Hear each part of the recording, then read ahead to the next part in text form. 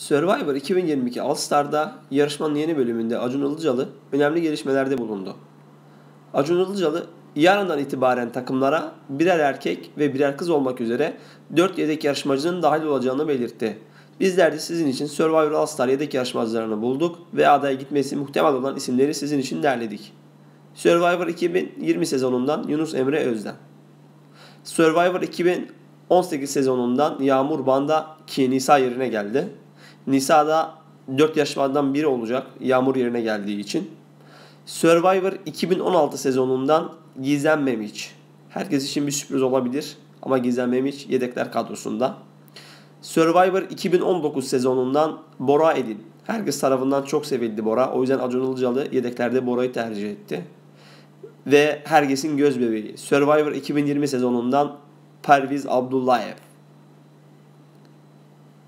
Ve dizilere kadar yükselen Survivor 2019 sezonundan Atakan Işık tutan.